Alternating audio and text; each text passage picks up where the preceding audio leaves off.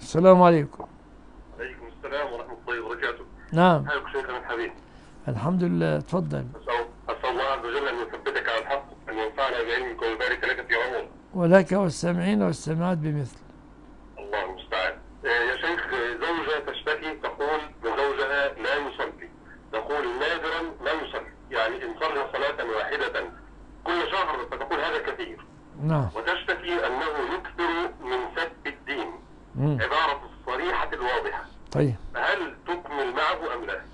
يتوب من سب الدين أو لا يتوب؟ لا يتوب بل هي عادة عنده وعند أهله كما تقول الزوجة لا يتوب من سب الدين؟